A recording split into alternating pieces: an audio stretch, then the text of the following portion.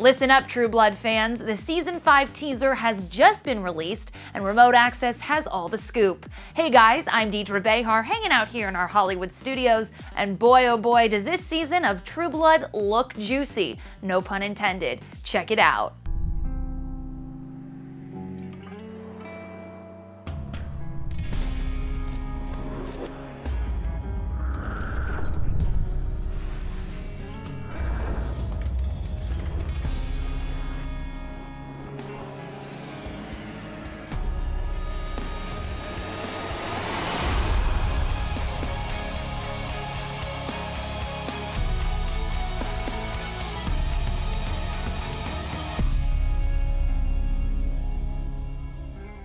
Okay, so HBO sort of skimped on giving us any actual footage or spoilers, but there's definitely still something for us to chew on.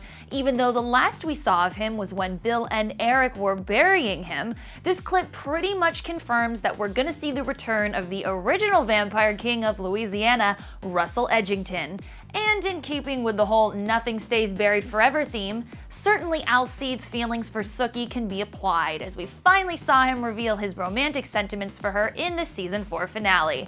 Joe Manganiello, the actor who plays Alcide, caught up with TV Line just a few weeks ago and revealed, as you saw at the end of season 4, Alcide's not taking anyone's anymore. Now you're gonna see Alcide who's going to slam you up against the wall and do his thing. Who doesn't like being slammed up against the wall, right? With regards to whether this alleged slamming was more literal or more figurative, the hunky actor played coy and said, quote, It could be a fun slam and it could be an angry slam. You never know.